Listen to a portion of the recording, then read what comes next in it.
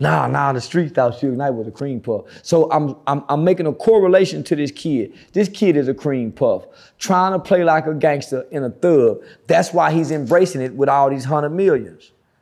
They didn't get to do it before now. The niggas who got to did it before now, nigga, they get to hundred million, they play square.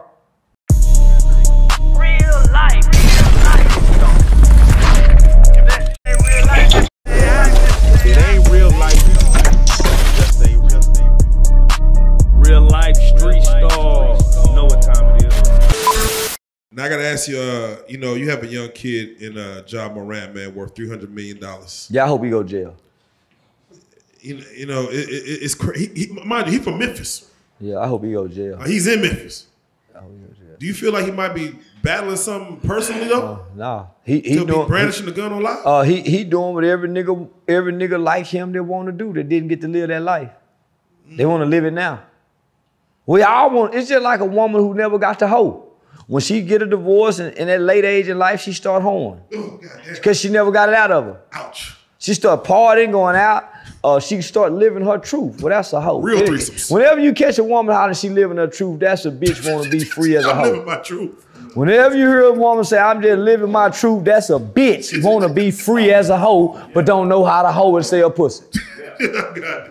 I'm going to say it again. That's a bitch that want to live free as a hoe, but don't know how to hoe to sell pussy.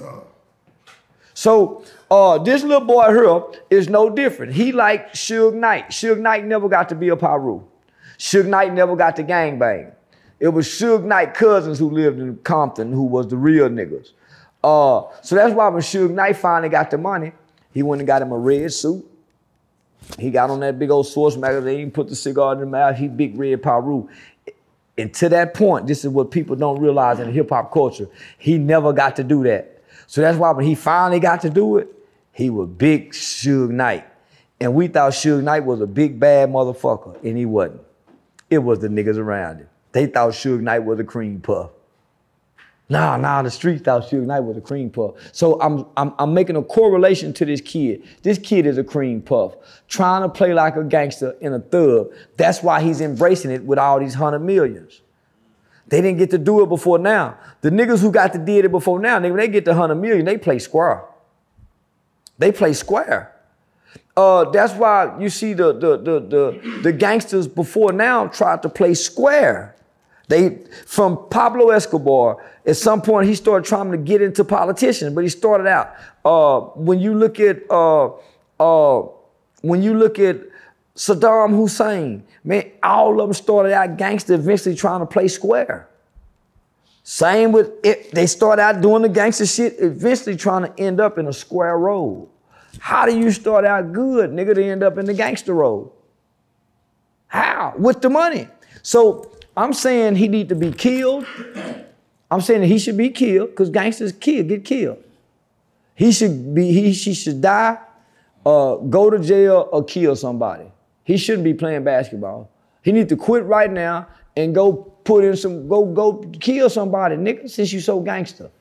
Since you want to fight, go on, go to jail and fight where niggas like to fight. Young niggas like to fight in jail. They play basketball there too, but they go fight and fuck. So send him down there where he can play basketball, he can fight, and he can fuck. Would you more so blame his pride or the people around him? Blame who? His pride or the people around him? I blame the people around him. Yeah, I blame the people around him for not. Yeah, yeah, no. Uh, but not only do I, I, I- blame him first though. His pride ain't got nothing to do with it. He been a superstar all his life. He ain't never had to fight. Matter of fact, niggas been letting him make it because he's who he is. But when a nigga say you can't fight, you can't shoot, you ain't thug, you ain't hard. Uh, I ain't, nigga. I'm a star basketball player. You see what happened to the what's that? The Alabama little nigga or whatever he is, the one shot at the car. Yeah, the, uh, yeah, I seen that story. Yeah, You see what happened? Come on, home. yeah you. nah, it's real. It gets real. So Quick. this is so this is what I'm saying. Send him to jail. Send him to the military so he can kill somebody or get killed. Or put him out the NBA and let him go to the streets and be a street nigga. But he should not be playing basketball. He want to be a gangster. He don't want to be no basketball player. Let that nigga go be gangster. And y'all quit being disappointed. I'm proud of the little stupid motherfucker. I just can't wait till somebody kill him or he kill somebody. That wouldn't need to happen. Teach his ass a lesson. Cause shit, nigga, God done bless you with all this motherfucking talent. Yeah, yeah, yeah, yeah. See, that's why kids are dying quickly because they they a waste of life, and God ain't gonna let them motherfuckers stay down here 40 years. Disobedient motherfucker. The Bible say disobedient child days shall be numbered. So he a disobedient child, so number his days. God kill him. Yeah, I wouldn't. yeah, yeah, kill him. Send him motherfucking ass to jail or the graveyard where all gangsters go, where they belong.